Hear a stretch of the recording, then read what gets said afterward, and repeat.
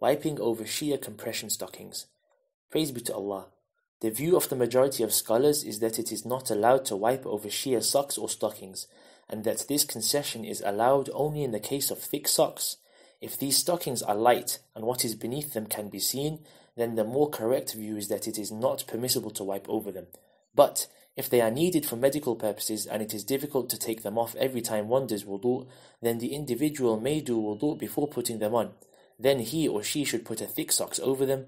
Then when needing to do wudu, he or she may wipe over the thick socks until he or she takes them off, or the period during which wiping over the socks is allowed comes to an end. If he or she is not able to do that, and taking off the compression socks is something that will cause harm or delay recovery, then the matter comes under the ruling on wearing a cast, so he or she should wipe over all of it from top to bottom, which is the place which is required to be washed. If your wife takes the stockings off at night, she should do wudu when she wants to pray Fajr. Then put the compression stockings on, then put on thick socks over them, then wipe over the socks, as the ruling on wiping will apply to the socks and not to the stockings that are worn underneath them.